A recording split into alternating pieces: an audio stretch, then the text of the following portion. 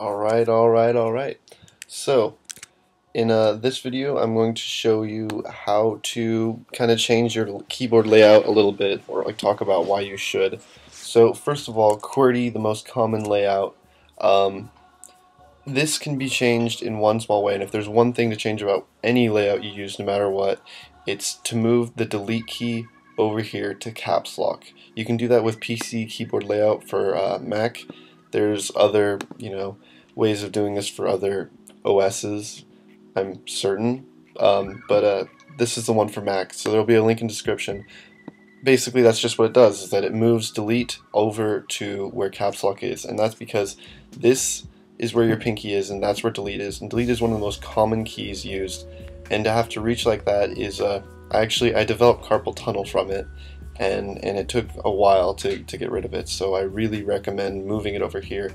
You'll get used to it in less than two hours, I, I swear. It's almost immediate that you'll stop using delete key and it, it feels really nice. Also the fact that it's on the left side means that as you type and untype, it, uh, you know, like you're going along and blah blah blah, and you make a mistake, it's nice to have it over here on the left side where you can, you know, do that. And it shows me hitting this key, but really I'm hitting this one.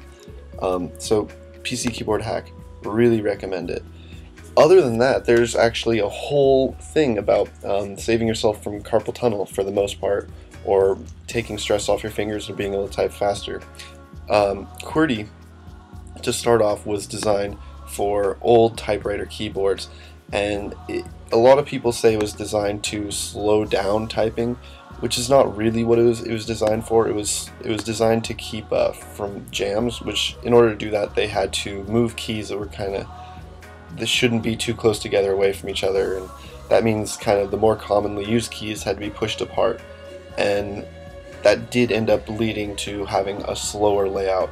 Uh, if you notice, A, H, and S are the only commonly used letters that you can find on home row, and I'll get more into you know good type layout theory, but basically home row is important, and most important is right here where your index fingers are. These are, this is the easiest, second easiest, or actually I think easiest, second easiest, third, fourth to do, and then like reaches are, you know, pinky reaches are bad, index and middle finger reaches are, are just totally fine, up is better than down. These are all things that go into the theory of it. Um, the next one to come around was Dvorak, and people were not allowed to use Dvorak in typing competitions because it was so much faster. Uh, something to notice is that A, E, I, O, U, this is all under one hand, while the most common consonants are under the other, and that leads to basically a lot of time that you're typing like the, um, here, if you notice, boom, boom, boom, boom, it's, it's constantly back and forth, like, you know, constant vowel, constant vowel, constant vowel, because that's how words work and it's really nice, very quick.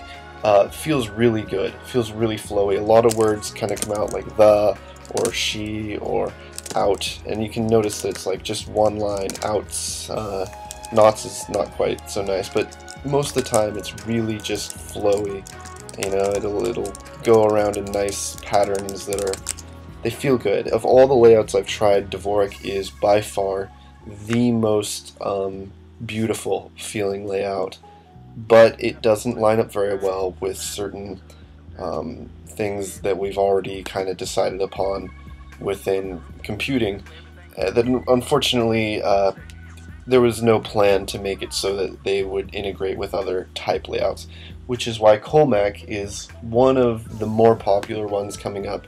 I've tried it out, I like it, but it's not super nice. Uh, the difference here though is that Z, X, uh, C, and V are all right where they should be for most people, which is, you know, Control Z, undo, Control X, um, co cut, copy, paste, and then Control Q is, is quit. And those are, are really nice. Also, Control T and Control S are, are right, you know, within this range, which is good. That does not happen so much with Dvorak, especially because, uh, never mind, but most of your command shortcuts, you know, are going to be gone, or your, your you know, whatever control shortcuts, I guess, for, for Windows. Anyways, uh, that's that's a big problem with QWERTY, and it will, it's it's kind of its uh, Achilles heel. The one I use is uh, based off this study by an MIT guy, uh, or maybe multi multiple MIT guys. I'm, I'm not totally sure. women too. I, I you, you, get what I'm saying. So MIT people did it, and um, basically they put uh, all sorts. Or first of all, they they designed something that would figure out how far each finger was moving as typing was happening. So like you know this this is a, a bad movement that they kind of rated as like a certain amount of distance and whatever like stress and figured out how much stress that is compared to just leaving it in place. Um, and uh, that's you know that's the basic gist of it is that like if you have to move your pinky down like that or over here that's that's not a good thing or up here that's that's really not that great. And if you can type your words in this area right here that's that's the best that you can do. So it's designed around keeping finger movement to a minimum keeping your hands on the home row as much as possible and making sure that your index and middle finger get the most of it or actually that's that's basically how they they, they tested everything so um, let's see, can I find it? Uh, QWERTY got an effort of, of 3.0, which is almost twice as much as uh, a couple other ones. Um, Colemak actually has a, a, pretty nice rating here of uh, 1.842. I, I couldn't find Dvorak on this page, unfortunately. Um, but uh, Colemak, Colemak does really well, and in terms of like being popular and most used, it's it's uh, it might be one of the best bets. I do recommend Dvorak just because it will come pre-installed with Mac, and I think every other every other system should probably have it at this point. It's it's really old. It it goes back to the time of of, of like just beginning typing when typing races were just starting. So it's it's a good one. Um, but Colemak is is really nice. The one that I use though, it, it was called QGMLWY here, Quigbly or something like that. I, I don't like that name, so I changed it to Wonderplan. Also, there's a couple small differences in mine um, that I just I put in through this program called uh, Ukelele. I, I, guess I should have a tab open for that already. Um, let's see, Ukelele keyboard layout. I'm, I'm still getting used to typing this, I'm sort of a slow typer still, which is unfortunate, but I do still recommend uh, um, doing that. Okay, yeah, this one's just for Mac, but it's a it's a keyboard layout editor if you really feel like having special things. Like for instance, on mine, uh, it says thumbs. If I control, uh, hold hold uh, control and then uh, click thumbs or click 7. You know, it'll, it'll, type out the word thumbs for me. It's, it's funny. It's just silly things. And uh, that's, that's kind of a cool thing you could do. But the point more is that it, it got the lowest uh, amount of effort rating and I figured I might as well try it out because, you know, someone has to test things out, right? Um, but if I'm really going to give good advice, I'm not going to say use the this random layout I use, though I do very much like it. It does, oh, a couple other nice things about it that uh, I didn't find so much in Dvorak is that S is in the same place it normally would be. All of these are in the same place it normally would be. Q is in the same place. And uh, everything like, you know, new window is, is right there. Closed window is, is one hand. New tab is one hand. And I use these all the time.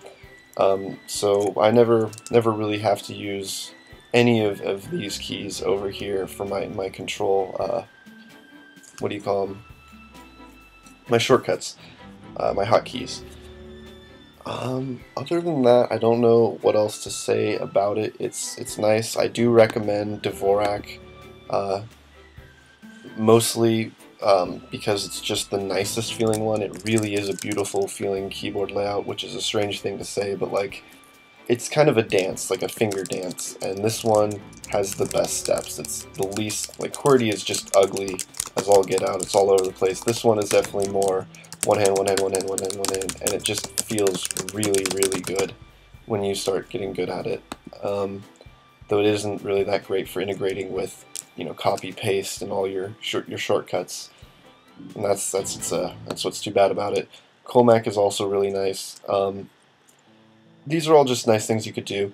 Uh, a final thing if you really want to go all out is they have special keyboard uh, and I might have to buy one of these just to try it out.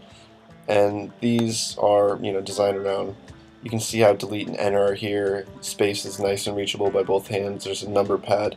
The uh, arrow keys which are the most um, carpal tunnel inducing part of my layout at the moment are, are in a nicer place these are all, all things that go into it. Basically, you don't want to be bending your wrists, you don't want to be moving your fingers too much, and you don't want to be putting a lot of pressure.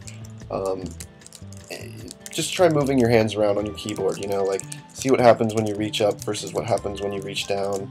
See how it is to move your pinky here and there versus your fingers, your, your pointer fingers, and you'll, you'll see what the, the basic gist of it is.